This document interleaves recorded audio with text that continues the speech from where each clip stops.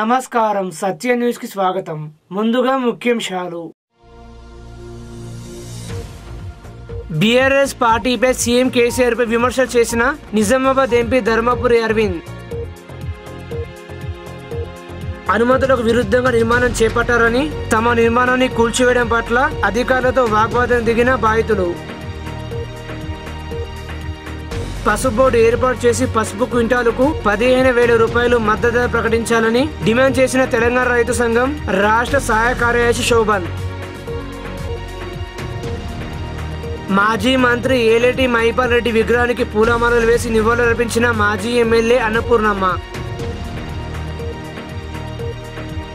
సర్వ సమాజ్ నూతన అధ్యక్షుడు ఆకుల రాజును ఘనంగా సన్మానించిన ఎంపీ అరవింద్. కంటి వెలుగు శిబిరాలను పరిశీలించిన జిల్లా కలెక్టర్ సి. నారాయణ రెడ్డి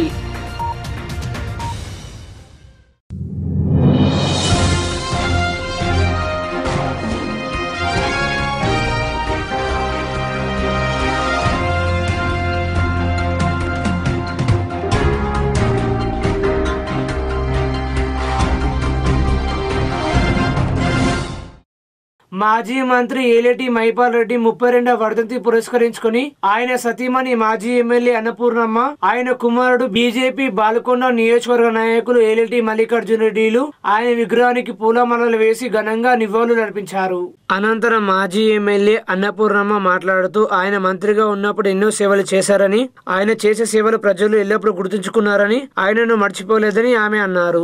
రాజకీయ నాయకులు తాము పదవిలో ఉన్నప్పుడు ప్రజలకు మంచి చేస్తే ఎప్పుడు గుర్తుండిపోతారని అన్నారు. ఈ కార్యక్రమంలో బీజేపీ పార్టీ జిల్లా ప్రధాన కార్యదర్శి జీవి నరసింహారెడ్డి తదితరులున్నారు అనుగుణము నాయకత్వం అనుగుణ నాయకత్వం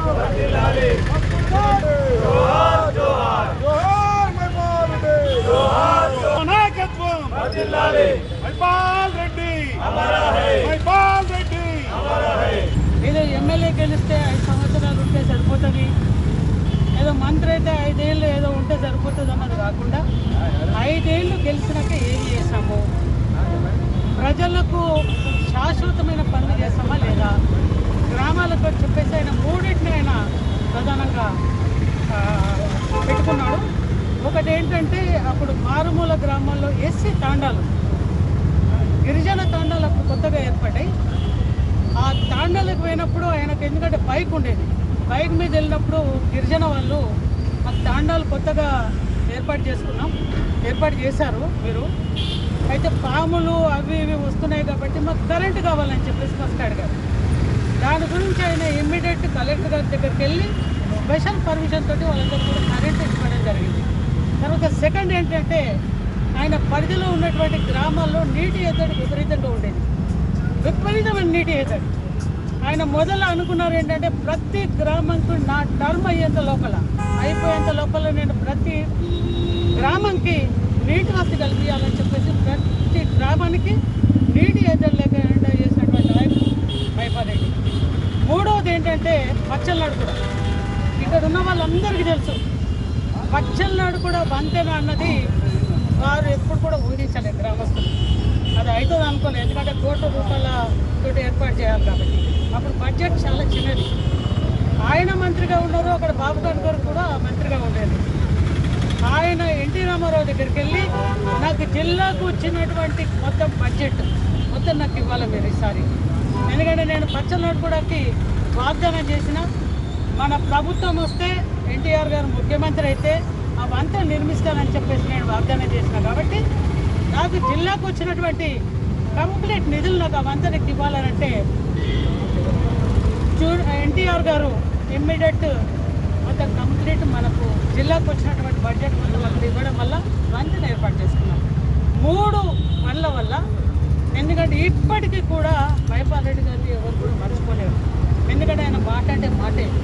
ఆ తరం వారికి దారి చూపారు ఈ తరం వారికి పూర్తిగా నిలిచారని చెప్పేసి దయచేసి రాజకీయ నాయకులకు నేను చెప్పేది ఏంటంటే వస్తుంటారు పోతుంటారు పార్టీలు కానీ నాయకులు కానీ అందరు కానీ మీరున్న కాలంలో శాశ్వతమైన పని పనులు చేస్తే ప్రజలు ఎప్పుడు కూడా మర్చిపోరని చెప్పేసి సందర్భం ఆర్మూరు మున్సిపల్ పరిధి రామ్నగర్ కాలనీలో ఈశ్వరీయ బ్రహ్మకుమారిస్ భవనంలో ప్రజాపిత బ్రహ్మ సంస్మరణ దినోత్సవాన్ని ఘనంగా నిర్వహించారు. అనంతరం జయదీది మాట్లాడుతూ ప్రజాపిత బ్రహ్మ సాక్షాత్తు దేవుని స్వరూపమని వైష్ణవుని ఎంతగానో ఆరాధించేవారని అన్నారు. ఈ కార్యక్రమంలో మహిళలు తదితరులున్నారు.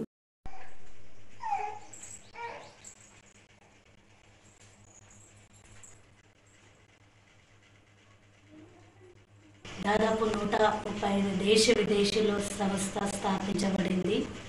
ఈ సంస్థ ముఖ్య ఉద్దేశం మానసిక రోగాల నుండి విముక్తి కావడం టెన్షన్స్ ఫ్రీ పెద్దవాళ్ళకి ఉపయోగపడుతుంది.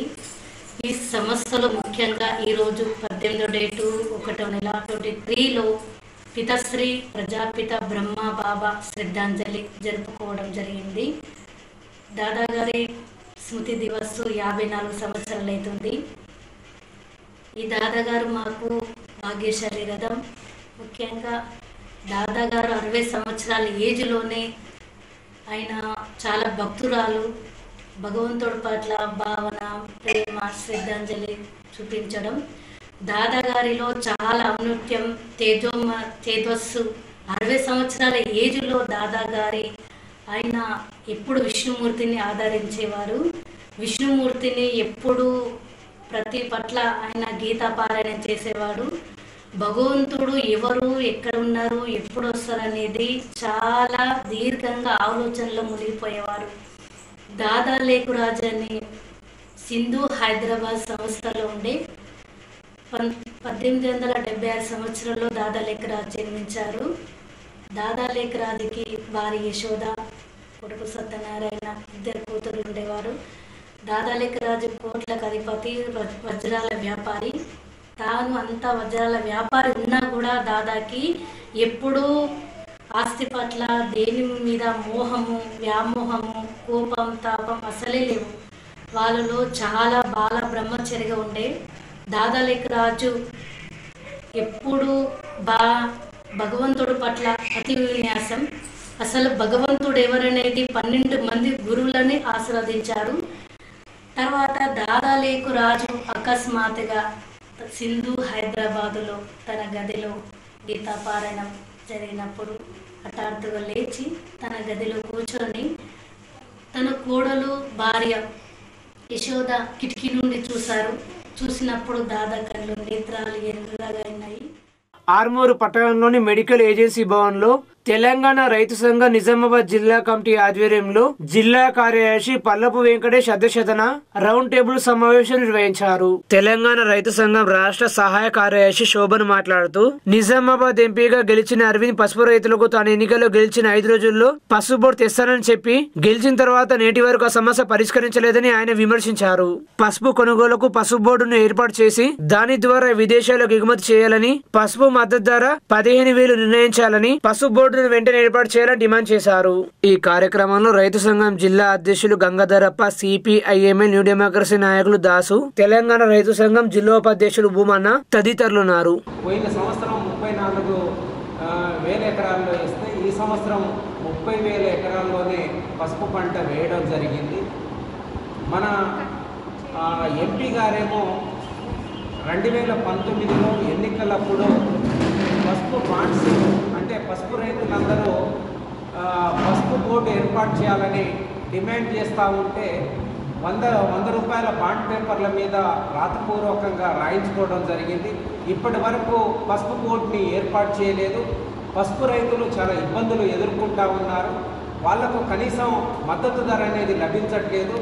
మార్కెట్లోకి వెళ్తే అంటే ఎకరాకు పది క్వింటాలు మాత్రమే దిగుబడి అనేది వస్తూ ఉంది. దాన్ని ఉడకబెట్టిన తర్వాత పది క్వింటాలు మాత్రమే వస్తూ ఉంది. కాబట్టి ఈరోజు మార్కెట్లో దళారులు మోసం చేస్తూ ఉన్నారు. కనీస మద్దతు ధర అనేది కేంద్ర గవర్నమెంట్ ప్రకటించే కనీస మద్దతు ధరలలో పసుపు అనేది ఉండట్లేదు. కాబట్టి కనీస మద్దతు ధరల్ని పదిహేను వేల రూపాయలు క్వింటాలకు ప్రకటించాలని మేము కోరుతా ఉన్నాం.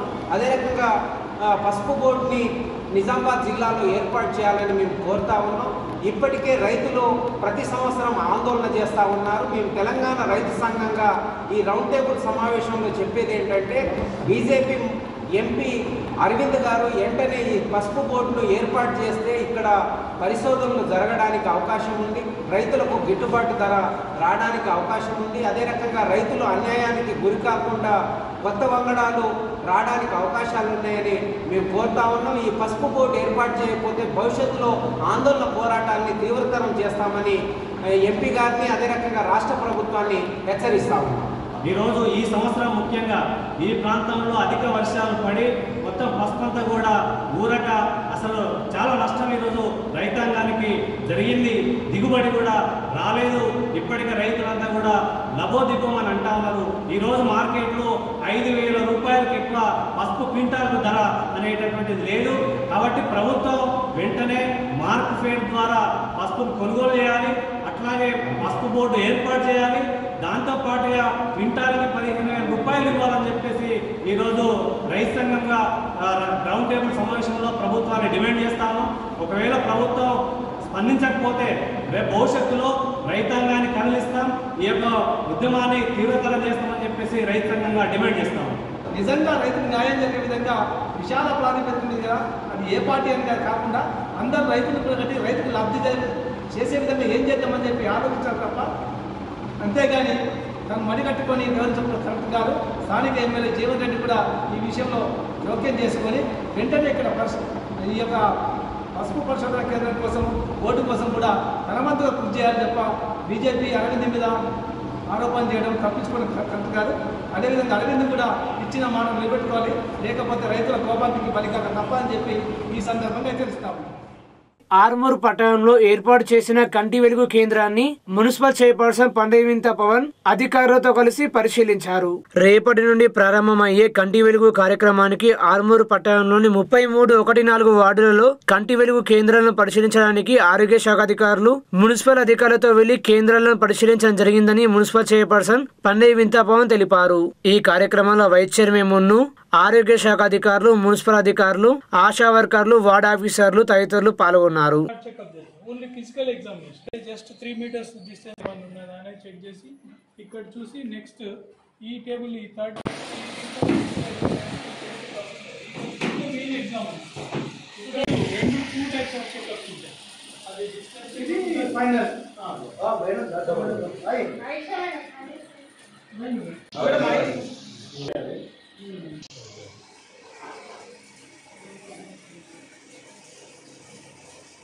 గౌరవ మంత్రివర్యులు కేసీఆర్ గారు అదేవిధంగా గౌరవ ఎమ్మెల్యే జీవనన్న గారి సూచనల మేరకు గౌరవ కేసీఆర్ గారు ప్రతిష్టాత్మకంగా చేపట్టిన కంటి వెలుగు రెండో విడత కార్యక్రమానికి తెలంగాణ రాష్ట్రమంతా రేపటి నుండి అనగా జనవరి పంతొమ్మిదో తారీఖు నుండి ప్రతి మున్సిపాలిటీలో ప్రతి జిల్లాలో ప్రతి గ్రామాల్లో ఈ కేంద్ర రోజు అంటే వంద రోజుల ప్రక్రియను ఈ చేపట్టడం జరిగింది. అందులో భాగంగా అనగా రేపటి రోజు అంటే ముప్పై మూడు ఆర్ము పట్టణంలో ముప్పై మూడు వార్డు అంటే మా వార్డులో చైర్పర్సన్ గారి వార్డులో. ఎంకే ఫంక్షన్ హాల్ నందు రేపటి రోజు జరగబోయే కార్యక్రమానికి ఇక్కడ చూడడానికి పరిశీలనకు చేయడం జరిగింది. అధికారులతో అదేవిధంగా హెల్త్ మున్సిపల్ అధికారులు అదేవిధంగా తోటి వైస్ చైర్మన్ గారితో ఇక్కడ చూడడం జరుగుతుంది. ఇక్కడ వచ్చిన వారికి అంటే ఇది ఈ ఈ ప్రతిష్టాత్మకంగా ఎంచుకున్న కార్యక్రమం పద్దెనిమిది సంవత్సరాలు పైబడిన వారికి ఇది ఎంతో చాలా అందరికీ కంటి అనేది కళ్ళు కళ్ళు అనేది చాలా ముఖ్యం కాబట్టి ప్రతి ఒక్కరు గల్లీవాసులు అదేవిధంగా చుట్టుపక్కల ఉన్న గ్రామాలతో సహా ఈ ఇంత మంచి కార్యక్రమం చేపట్టినందుకు గౌరవ కేసీఆర్ గారికి మేము ఎల్లప్పుడూ ధన్యవాదాలు తెలుపుకుంటున్నాము.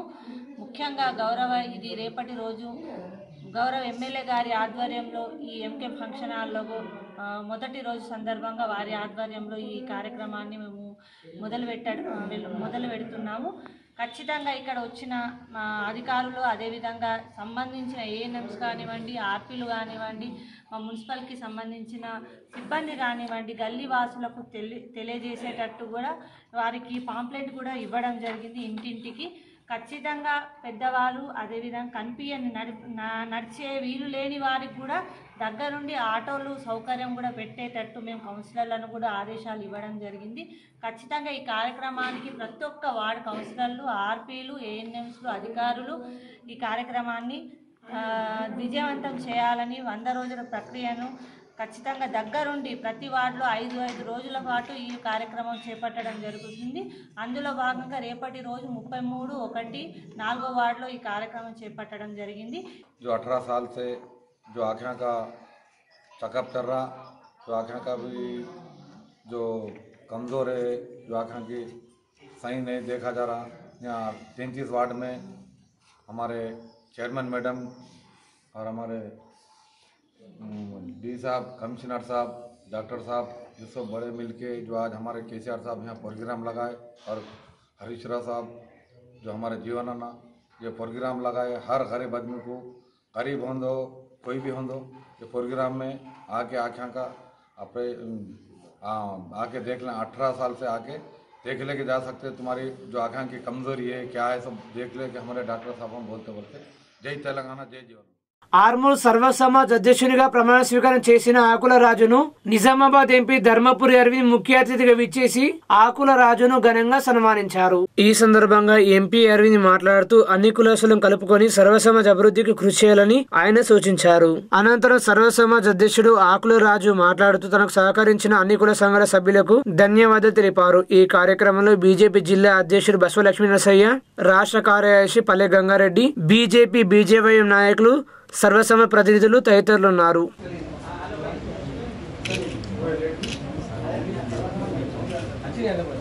అన్న దండ దిశ దండ దిశ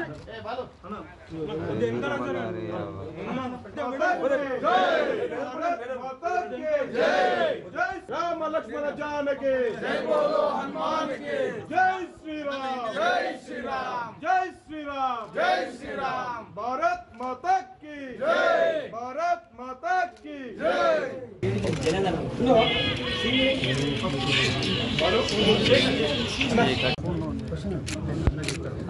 సర్వ సమాజ్ అధ్యక్షుడుగా ఆకుల రాజు ఎన్నికైనందున చాలా సంతోషంగా ఉంది.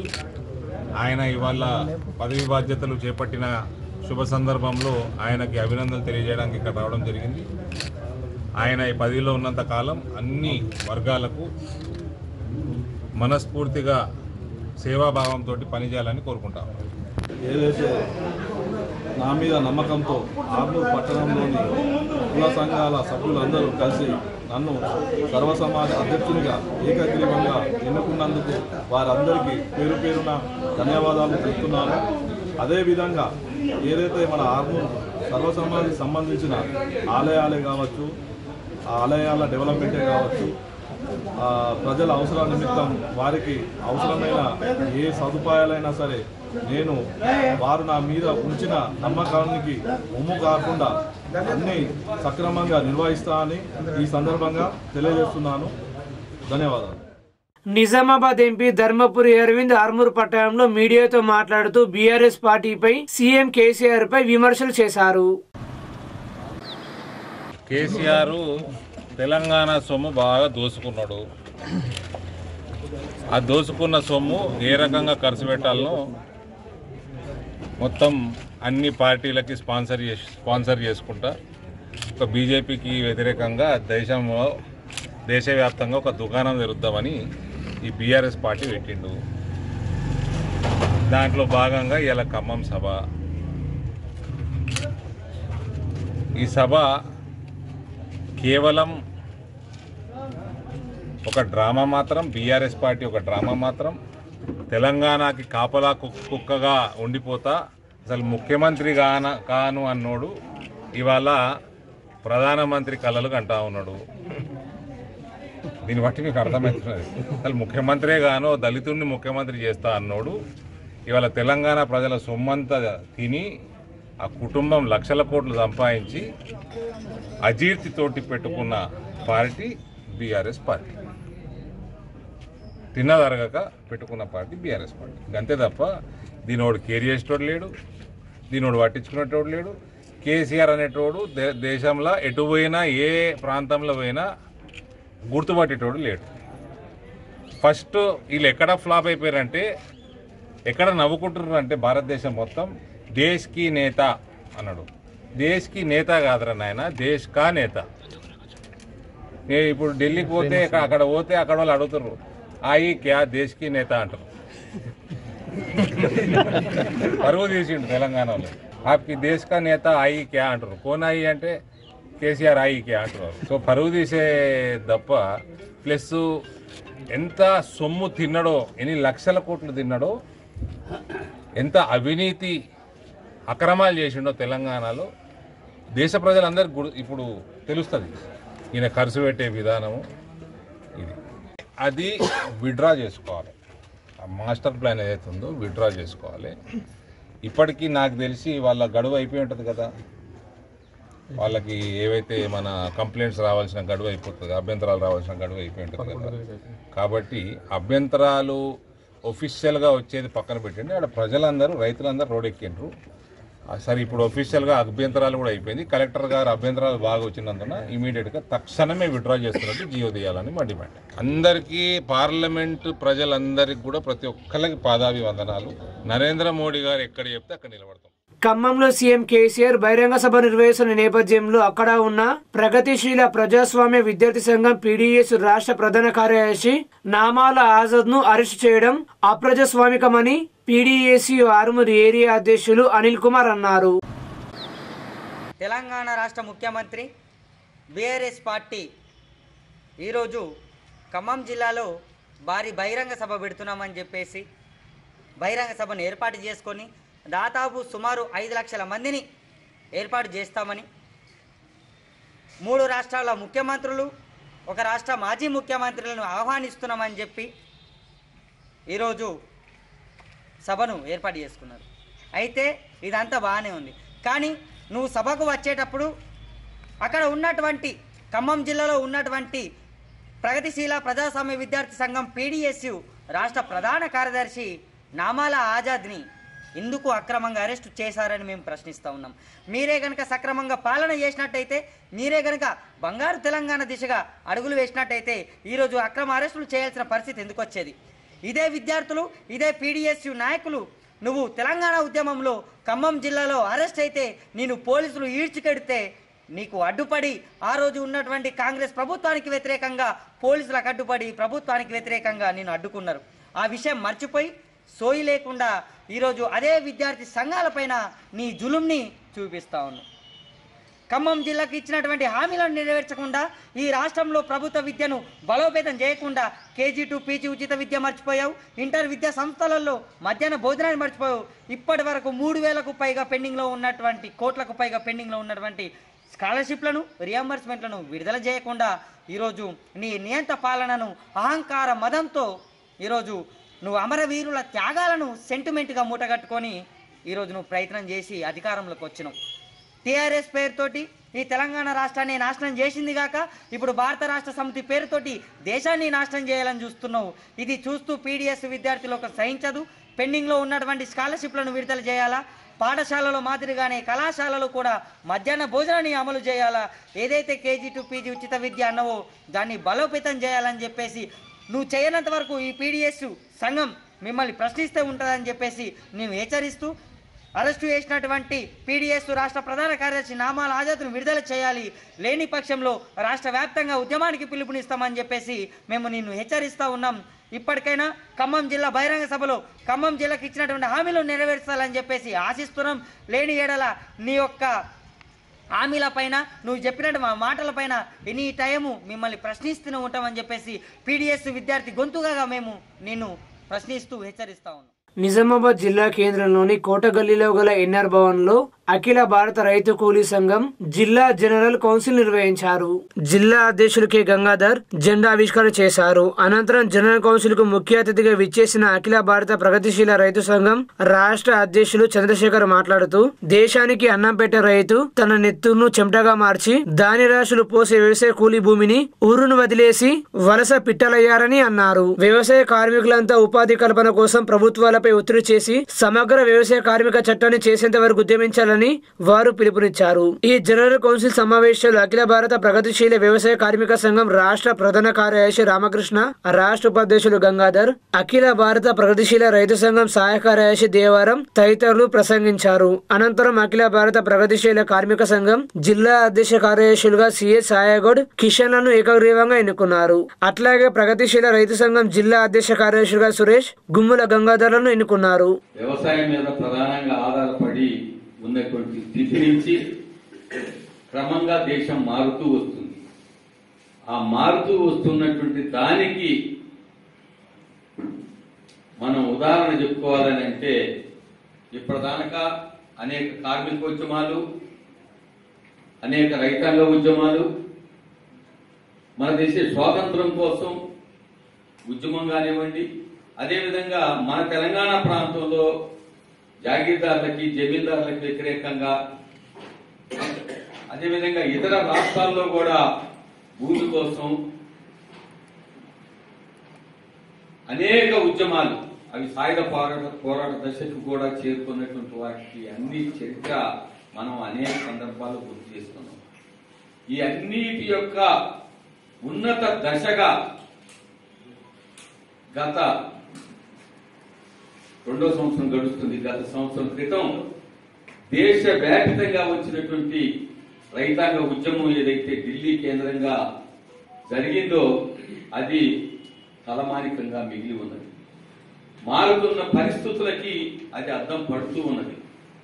ఇవాళ మన రైతు కూలీ సంఘం ఇప్పటికే మన రాష్ట్ర జనరల్ కౌన్సిల్ జరుపుకున్నాం. ఈరోజు మీ జిల్లా జనరల్ కౌన్సిల్ జరుపుకోబోతున్నాం జరుపుకుంటున్నాం. ఈ జనరల్ కౌన్సిల్ సందర్భంగా మన రైతు కూలీ సంఘం తీసుకున్నటువంటి కొన్ని నిర్ణయాలు ఈ దేశంలో వస్తున్నటువంటి మార్పులకి అనుగుణంగా మనం ఇప్పటి వరకు మన రైతు కూలీ సంఘం రైతులు కూలీలు అందరం కలిసి రైతు కూలీ సంఘంగా నిర్మాణమై దేశవ్యాప్తంగా రైతుల్ని కూలీల్ని వ్యవసాయం మీద ఆధారపడి పనిచేస్తున్నటువంటి కష్టజీవులందరినీ కూడా ఈ రైతు కూలీ సంఘం నాయకత్వంలోనే మనం సమీకరిస్తూ వచ్చాం. నిజామాబాద్ జిల్లా కేంద్రంలోని సుభాష్ నగర్లో బిఎల్ఎఫ్ జిల్లా కార్యాలయంలో రాష్ట్ర కన్వీనర్ దండి వెంకట్ మీడియా సమావేశం నిర్వహించి మాట్లాడుతూ జనవరి ఇరవై ఐదున జరిగే బిఎల్ఎఫ్ ఐదవ రాష్ట్ర ఆవిర్భావ సభను విజయవంతం చేయాలని ఆయన పిలుపునిచ్చారు. బహుజన లెఫ్ట్ ఫ్రంట్ బిఎల్ఎఫ్ రాష్ట్ర ఐదవ ఆవిర్భావ సభ హైదరాబాద్ ఓంకార్ భవన్లో జరుగుతూ ఉంది. ఈ ఐదు సంవత్సరాల కాలంలో అనేక సామాజిక ఆర్థిక సమస్యలపై రాజకీయ సమస్యలపై శక్తి మేరకి బిఎల్ఎఫ్ రాష్ట్ర వ్యాప్తంగా కృషి చేసింది. విద్యా వైద్యం మీద ప్రభుత్వం అనుసరిస్తున్నటువంటి తెలంగాణ సమాజం ముఖ్యంగా బీసీల జనగణ జరపాలని ఎస్సీల మీద ఎస్టీల మీద ఇతర బీసీ కులాల మీద జరుగుతున్నటువంటి మరి గ్రామ బహిష్కరణలు అనేక కార్మిక వర్గం ఎదుర్కొన్న సమస్యలు రైతాంగం ఎదుర్కొంటున్న మహిళలు విద్యార్థి సమస్యల మీద బిఎల్ఎఫ్ తన శక్తి మేరకు పనిచేసింది.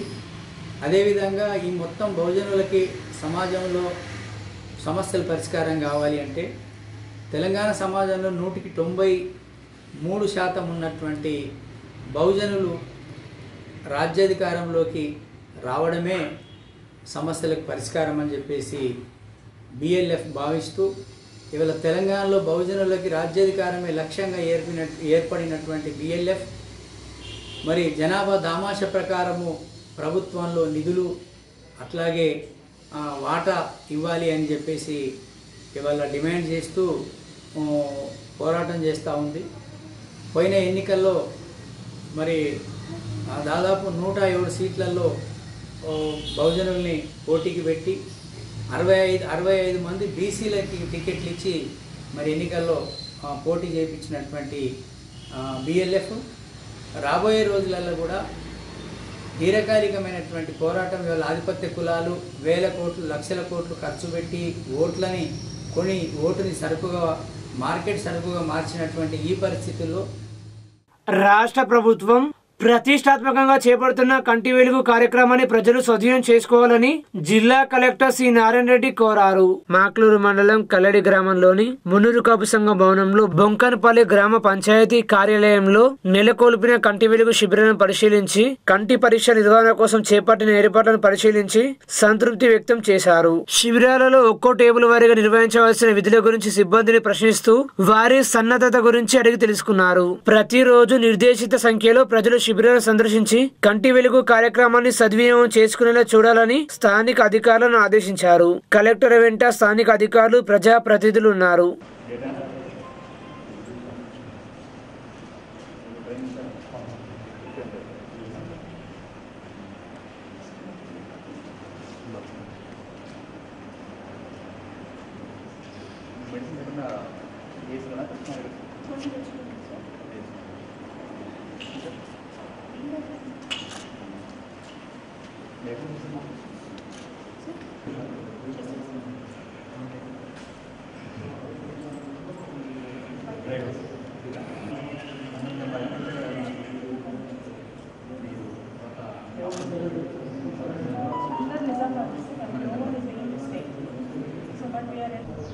ఇది ఇది సార్ ఇది చదువుతా ఇది చదవలేకపోతే ఇది కూడా చదవదు సార్ ఎందుకంటే ఇది చిన్నది సార్ ఇది మైనస్ ప్లస్ నుంచే ఇది రాయాలి ఇప్పుడు కదా ఆయనకు ఏజ్ని బట్టి థర్టీ ఫైవ్ ఉంటే మైనస్ ప్లస్ వన్ తీసుకోవాలి సార్ ప్లస్ వన్ కూడా రాలేదంటే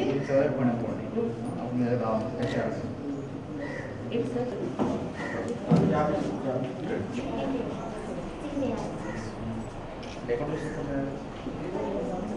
అందులో రాజధాని చేశారు ఎంత మొత్తం ఏంటి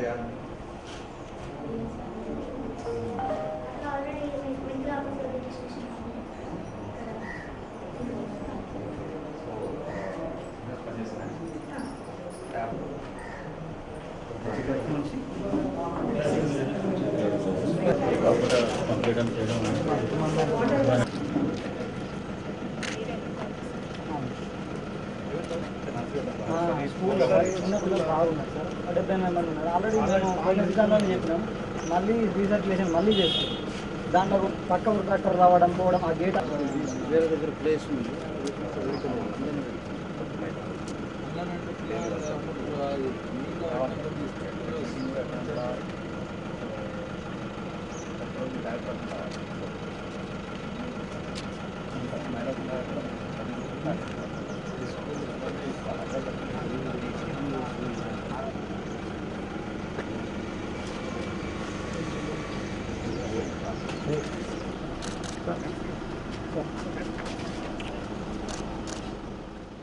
భీమ్గల్ మండలం మున్సిపాలిటీ పరిధిలో ఏర్పాటు చేసిన కంటి వెలుగు కేంద్రాన్ని immunization special officer doctor Ashok పరిశీలించారు. భీమ్గర్ మున్సిపాలిటీ వార్డు ఒకటిలో స్వర్ణకార సంఘం మరియు బాబాపూర్ ముచ్కూరులో జరుగుతున్న మూడు కంటి వెలుగు శిబిరాలలో జరిగే ఏర్పాట్లు నియమించిన సిబ్బంది వసతులు సౌకర్యాలు కంప్యూటర్లో కళ్ళు పరిశీలించడం మందులు కంటి అద్దాలు పంపిణీ చేయడం వంటి విభాగాలు ఏర్పాటు చేసిన తీరును ఆయన పరిశీలించారు. ఈ కార్యక్రమంలో doctor Ajay Pawar doctor Ayesha Begum district vaccine manager Tarun pharmacist Laxman తదితరులున్నారు. అది కొత్త వర్షన్ పంపించారు అది రేపు ఓపెన్ అవుతుంది. రేపు ఓపెన్ అవుతుంది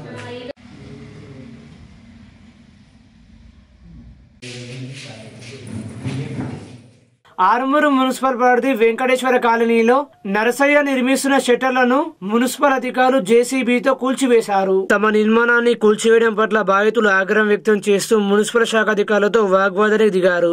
అనుమతులు ఉన్నప్పటికీ కేవలం ఉద్దేశపూర్వకంగా నిర్మాణం కూల్చివేస్తున్నారని వారు ఆగ్రహం వ్యక్తం చేశారు. అనంతరం municipal commissioner Manohar town planning అధికారి వినీత్ మాట్లాడుతూ అనుమతులకు విరుద్ధంగా నిర్మాణం చేపట్టారని అందుకే నిర్మాణాన్ని కూల్చివేశామని తెలిపారు. తప్పుడు ధృవీకరణ ఇచ్చి one rupee commercial permission commercial building కడుతూ ఒక్క రూపాయి పర్మిషన్ తీసుకున్నాడు. నేను రెసిడెన్షియల్ కడుతున్నా డెబ్బై ఐదు గజాల లోపు ఉంది నేను రెసిడెన్షియల్ కడుతున్నా అని ఒక్క రూపాయి చెల్లించి పర్మిషన్ తీసుకున్నాడు సార్. కానీ కమర్షియల్ కడుతున్నాడు తప్పుడు ధృవీకరణ మళ్ళీ లొకేషన్ కూడా తప్పు చూపెట్టిండు. లొకేషన్ కూడా తప్పు తప్పు చూపెట్టడం వల్ల దానికి మేము నోటీస్ ఇచ్చి ఆయన ఎక్స్ప్లెనేషన్ కాల్ఫర్ చేసి ఆయన కూడా ఎక్స్ప్లెనేషన్ ఇచ్చిండు. కాకపోతే కొంచెం వేగ్గా వేగ్గా మేము ఇచ్చిన ఎక్స్ప్లెనేషన్కి ఎలాంటి దానికి జస్టిఫికేషన్ లేకుండా రిలేషన్ లేకుండా ఆయన రిప్లై ఇచ్చాడు రెసిడెన్షియల్ పర్మిషన్ కట్టుకుంటున్నా అని చెప్పిండు. ఓకేనా దాని తగ్గట్టుగానే మనం చూస్తాం కదా అట్లా. ఇద్దరు ఉన్నారు వాళ్ళు చూశారు. దాని లోపల మిస్యూజ్ అయినట్టయితే మీకైతే కనిపిస్తుంది కదా. వాళ్ళు ఆల్రెడీ రోడ్ ఎంట్రన్స్ చేసి కడుతుండ్రు పాత బిల్డింగ్ కూడా కంప్లీట్గా డిస్మెంటల్ చేసి కడతామని వాళ్ళు పెట్టారు ఫస్ట్ అప్లికేషన్ దాన్ని తప్పించి ఒకవేళ మీకు ఏమైనా డౌట్ ఉంటే వాళ్ళ డాక్యుమెంట్స్ ఉన్నాయి కదా. ఇప్పుడు ఆల్రెడీ ఎగ్జిస్టింగ్ బిల్డింగ్ ఉంది. ఎన్ని ఫీట్లు ఉన్నది ఉంటుంది కదా. మా దగ్గర రికార్డ్ లేదు మేమైతే. ముందుకు రాము. ఇప్పుడు అది ఎంత ఉందో రికార్డు ఆల్రెడీ ఆఫీస్కి వచ్చి వెరిఫై చేసుకోరు వాళ్ళ డాక్యుమెంట్ ఆల్రెడీ రిజిస్ట్రేషన్ అయిన డాక్యుమెంటే ఉంది కదా. ఎన్ని ఫీట్లు ఉన్నది ఎంత ఎంక్రోచ్ అయిందో ఎంక్రోచ్ అయితే తీసేస్తారు. ఎంక్రోచ్ కాదైతే తీయరు కదా. మిగతా బిల్డింగ్ల గురించి మనకి ప్రెసెంట్ మనకి ఇప్పుడు జరుగుతుందా చూస్తామా? ఇప్పుడు ఇరవై ఏళ్ళ కింద పది ఏళ్ళ కింద కట్టిన బిల్డింగ్స్ ఉన్నాయి. వాటికి ఏదైనా తీసుకుంటే కలెక్టర్ ద్వారా ఉంటాయి. మనం చేసేటి కాదు కదా. ఆల్రెడీ దాని మీద ఎంక్రూ ఇక్కడికి వెళ్ళి మన ఇప్పుడు మామిడిపల్లి నుండి మొదలు పెడితే పిరికిడి దాకా ఉన్నాయి. దాదాపు అన్నీ చూసిండ్రు మీకు మీకు కూడా అందరికి ఐడియా ఉంది. దాని మీద ఎలాంటి చర్యలు తీసుకోవాలన్నా కలెక్టర్ ద్వారా వస్తాయి. వార్తలు ముగించే ముందు ముఖ్యాంశాలు మరోసారి. బీఆర్ఎస్ పార్టీపై సీఎం కేసీఆర్ పై విమర్శలు చేసిన నిజామాబాద్ ఎంపీ ధర్మపురి అరవింద్. అనుమతులకు విరుద్ధంగా నిర్మాణం చేపట్టారని తమ నిర్మాణాన్ని కూల్చివేయడం పట్ల అధికారులతో వాగ్వాదం దిగిన బాధితులు. పసుపు బోర్డు ఏర్పాటు చేసి పసుపు క్వింటాలకు పదిహేను వేల రూపాయలు మద్దతు ధర ప్రకటించాలని డిమాండ్ చేసిన తెలంగాణ రైతు సంఘం రాష్ట్ర సహాయ కార్యదర్శి శోభన్. మాజీ మంత్రి ఏలేటి మైపాల్ రెడ్డి విగ్రహానికి పూలమాలలు వేసి నివాళులర్పించిన మాజీ ఎమ్మెల్యే అన్నపూర్ణమ్మ. సర్వసమాజ్ నూతన అధ్యక్షుడు ఆకుల రాజును ఘనంగా సన్మానించిన ఎంపీ అరవింద్. కంటి వెలుగు శిబిరాలను పరిశీలించిన జిల్లా కలెక్టర్ సి నారాయణ రెడ్డి. ఈ వార్తలు ఇంతటితో సమాప్తం. నమస్కారం.